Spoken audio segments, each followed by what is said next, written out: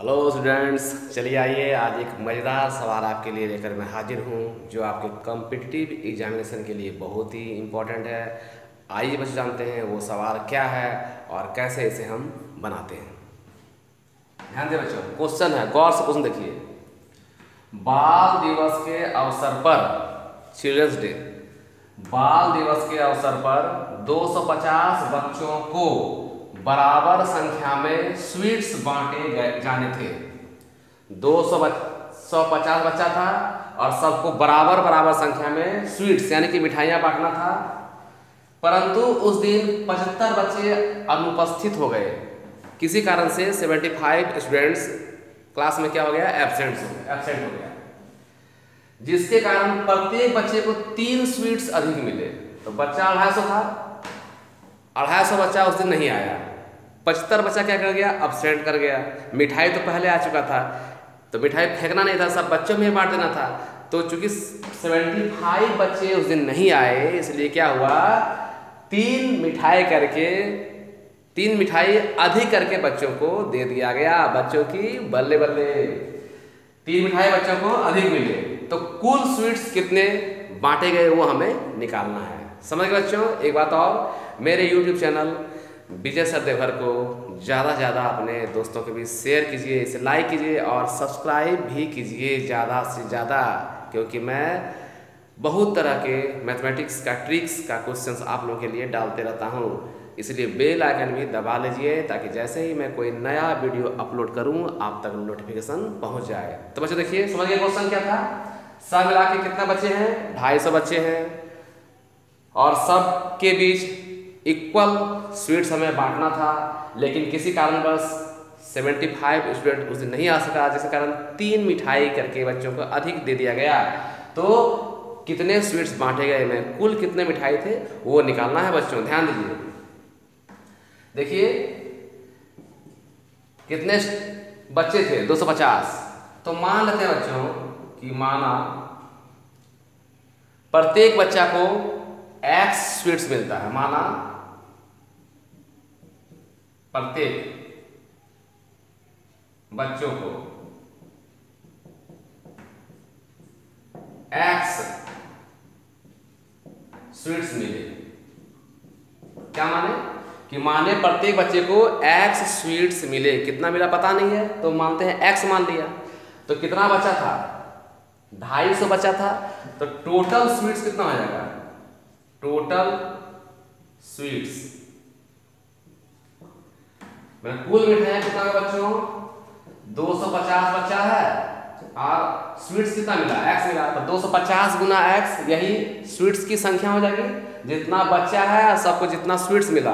बच्चों की संख्या को स्वीट्स की संख्या से जितना मिला, उसको गुना कर देंगे। तो कुल स्वीट्स निकल जाएगा हमको बच्चों, ध्यान दीजिए अब ये आपका हो गया टोटल स्वीट्स हो गया। अब बच्चों, क्या हुआ? 75 स्टूडेंट्स उस दिन नहीं आ पा अब यहाँ बच्चों अकॉर्डिंग टू क्वेश्चन ध्यान दीजिए 250 बच्चा था, लेकिन क्या हुआ? 75 नहीं आ पाया तो 75 इसको क्या किया? माइनस कर दिए। जब 75 बच्चा नहीं आया था, इसके कारण से क्या हुआ? जो स्वीट्स था, सबको तीन तीन ज़्यादा मिला, है ना? तीन स्वीट्स अधिक मिले। तो अभी यहाँ एक्स मिल रहा था, यहाँ क्या मिलेगा? एक्स प्लस तीन मिलेगा। क्या मिलेगा बच्चों? x प्लस तीन मिलेगा कितना हुआ? एक्स प्लस तीन हो गया। तो ये जो संख्या है 250 माइनस पचहत्तर इंटू एक्स प्लस थ्री ये भी तो कुल स्वीट्स के बराबर है। तो कुल स्वीट्स बराबर कितना है? 250 एक्स यहाँ इक्वल टू लिख दिए 250 एक्स समझ गए बच्चों? अब थोड़ा ध्यान दीजिएगा। 250 में चला गया 75 250 में चला गया 75 तो कितना बचा बच्चों? देखिए, ध्यान दीजिएगा। जगह कीजिए। जी, दस में चला गया पाँच तो पाँच हो गया बच्चा यहाँ पर। यहाँ बचा कितना आपका चौदह। चौदह में से सात है, कितना बचा? सात, और यहाँ बच गया आपका एक। वन सेवेंटी फाइव, कितना बच्चा? वन सेवेंटी फाइव हो गया। इंटू कितना है? X plus three. Equal to क्या बच्चों? Two fifty x. है ना? Two fifty x. चलिए इसको आप सिंप्लीफाई करते बच्चों। क्वेश्चन को मिटा देते हैं। है ना? हमें निकालना है कुल स्वीट्स ध्यान रखिएगा। ध्यान दें बच्चों। हो गया? अब देखिए। एक सौ पचहत्तर को एक्स से गुना कीजिए, कितना होगा? एक सौ पचहत्तर एक्स वन का वन सेवेंटी फाइव एक्स हो गया बच्चों। 175 को x से गुना किए तो 175x और 175 को थ्री से गुना कीजिए, कितना होगा? तीन पचे पंद्रह के पाँच हाथ में एक, सत्रह इक्यावन और एक बावन, मैंने पाँच सौ पच्चीस। कितना बच्चों? पाँच सौ पच्चीस। एक सौ सत्रह को तीन से गुना किए तो पाँच तिया पंद्रह के पाँच हाथ में एक, सत्रह तिया इक्यावन और एक, बावन हुए बच्चों। इक्वल टू कितना? है दो सौ पचास एक्स दो सौ पचास एक्स इसका ट्रिक भी बताएँगे, ध्यान दीजिए। दो सौ पचास हो गया। अब बच्चों क्या करेंगे? दो, पाँच सौ पच्चीस इक्वल टू कितना है? दो सौ पचास एक्स इधर ले आइए। Minus one seventy five x समझ गया ना? ध्यान दीजिए। पाँच सौ पच्चीस यहाँ है बच्चों। 250 में जाएगा 175 तो कितना हो गया? X लिखिए पहले 10 में 5 गया, आपका 5 हो गया। यहाँ कितना हुआ? चार बच्चा मैंने 14 में सात गया। सात हो गया बच्चों, मैंने 75 हो गया। देयर फोर एक्स बटे कितना होगा? 525 बटे पचहत्तर, है ना? तो बच्चे ध्यान दीजिए 525 बटे कितना हो गया? पचहत्तर। इसको भागा दीजिए। के बार में कटेगा? पहले पाँच से काटते हैं। पाँच दहिया पचास बच गया दो पचे एक सौ पाँच। और पाँच से काटे बच्चों कितना आ गया? पंद्रह। पंद्रह सते पचहत्तर से। मैंने एक्स का मान क्या निकला? सात निकला। मैंने हर एक बच्चा को सत सत गो मिठाई मिला था। प्रत्येक बच्चा को कितना मिला था? सात गो करके स्वीट्स मिला था। हमें निकालना टोटल नंबर ऑफ़ स्वीट्स तो टोटल नंबर ऑफ़ स्वीट्स कुल मिठाइयाँ क्या बताए? कि दो जितना बच्चा होगा और जितना मिठाई सबको मिला, उससे गुना कर देंगे। बच्चा कितना था? 250 सबको कितना मिठाई मिला? सात मिठाई। तो 250 गुना सात, पच्चीस सते एक सौ पचहत्तर। मैंने 1750 मिठाइयाँ टोटल थे बच्चों। समझ गए? अब बच्चों, इसे अगर ट्रिक से किया जाता तो ध्यान दीजिएगा। क्वेश्चन में इसका अगर ट्रिक से करते हैं, ट्रिक, है ना? तो क्या करते हैं बच्चों?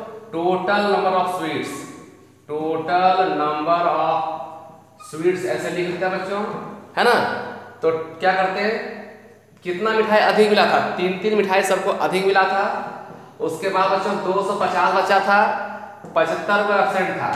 तो जितना स्वीट्स था उसको इंटू कर देना है। 250 में पचहत्तर को माइनस कर दिए। और बाय में ये पचहत्तर देना है बच्चों। जितना बच्चा एबसेंट था। और इंटू देके फिर से टोटल नंबर ऑफ़ बॉयज़ या स्टूडेंट जो लिख देना ठीक है? आप काटे बच्चों तो पच्चीस दिया पचहत्तर। दो सौ पचास में जाकर पचहत्तर कितना बचेगा? दस पाँच गया पाँच, चौदह में सात गया सात, एक सौ पचहत्तर हो गया बच्चों। और ये काटेंगे, पच्चीस से ढाई सौ काटिए। पच्चीस दहिया कितना हुआ? अढ़ाई सौ। तो एक सौ पचहत्तर गुना दस कितना हुआ? सत्रह सौ पचास। समझ गए बच्चों क्या नियम बताए जितना बच्चा को अधिक स्वीट्स मिला, वो इंटू करना है। और जितना टोटल बच्चा था, जो एबसेंट था टोटल बच्चा में एबसेंट को माइनस कर देंगे। बाय में क्या देना है? जो एबसेंट था वो, और इंटू टोटल बच्चे। काट कुट के आपका आंसर हो गया। तो बच्चों, मुझे विश्वास है कि आप लोगों ने इस सवाल को अच्छी तरह से सीख लिया होगा। एक दो बार प्रैक्टिस कीजिए और आप अच्छी तरह से सीख जाइएगा बच्चों। टिल दिन गुड बाय बाय